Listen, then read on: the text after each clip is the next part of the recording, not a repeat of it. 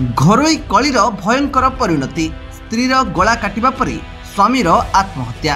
କ'ଣ ଥିଲା କାଲି ରାତିର ଘଟଣା? କାହିଁକି ସ୍ୱାମୀ ଭିଆଇଲେ ବିଭତ୍ସ କାଣ୍ଡ। ଆସନ୍ତୁ ନଜର ପକାଇବା ଆମର ଏହି ରିପୋର୍ଟ ଉପରେ। ପୁରୀ ଜିଲ୍ଲା ପିପିଲି ତେଇଶପୁର ପଞ୍ଚାୟତ ନିର୍ମଳା ଗ୍ରାମରେ କାଲି ରାତିରେ ଘଟିଛି ଏକ ଚାଞ୍ଚଲ୍ୟକର ଘଟଣା। ଏହି ଗ୍ରାମର ବାଷଠି ବର୍ଷ ବୟସ୍କ ବ୍ରଜକିଶୋର ସାହୁ ତାଙ୍କ ସ୍ତ୍ରୀ ପଞ୍ଚାବନ ବର୍ଷୀୟ ସାବିତ୍ରୀଙ୍କ ମଧ୍ୟରେ କୌଣସି କଥାକୁ ନେଇ ପ୍ରଥମେ ବଚସା ହୋଇଥିଲା। ଏଥିରେ ସ୍ୱାମୀ ବ୍ରଜକିଶୋର ଉତ୍କ୍ଷିପ୍ତ ହୋଇ ସ୍ତ୍ରୀ ସାବିତ୍ରୀଙ୍କୁ ହତ୍ୟା କରିବାକୁ ଉଦ୍ୟମ କରିଥିଲେ। ଏପରିକି ଏକ ଧାରୁଆ ଅସ୍ତ୍ରରେ ତାଙ୍କ ବେକକୁ କାଟି ଦେଇଥିଲେ ଏବଂ ପରେ ନିଜେ ମଧ୍ୟ ଦୌଡ଼ି ଦେଇ ଆତ୍ମହତ୍ୟା କରିଥିଲେ।